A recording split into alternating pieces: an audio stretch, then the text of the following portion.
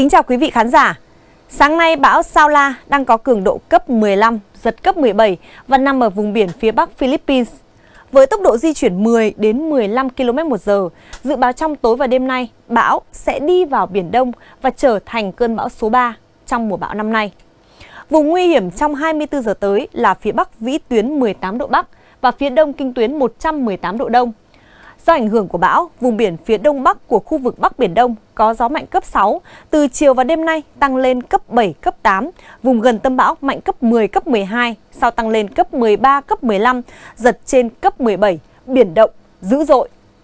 Các vùng biển từ Ninh Thuận đến Cà Mau ra giữa Biển Đông và phía bắc của Nam Biển Đông, bao gồm phía bắc của huyện đảo Trường Sa, hôm nay dự báo cũng có gió mạnh cấp 6, cấp 7, giật cấp 8, cấp 9, sóng cao từ 2 đến 4 mét, biển động mạnh. Ngoài ra trời còn có mưa rông tiềm ẩn lốc xoáy nguy hiểm. Khắp vùng biển từ Vịnh Bắc Bộ trở xuống đến Quảng Ngãi, ra ngoài khơi huyện đảo Hoàng Sa, hôm nay cũng mưa nhiều, tầm nhìn xa hạn chế từ 4 đến 10 km, sóng cao từ 1m50 đến 2m50.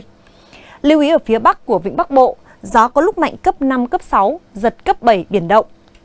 Đánh bắt trong điều kiện thời tiết xấu, bà con ngư dân cần đảm bảo mọi thiết bị máy móc trên tàu phải hoạt động tốt, các máy móc hỏng quá tuổi cần phải được sửa chữa hoặc là thay mới. Mũi tàu cũng cần được trang bị thêm phao bè lớn. Bản tin của chúng tôi xin được kết thúc tại đây. Kính chào và hẹn gặp lại quý vị.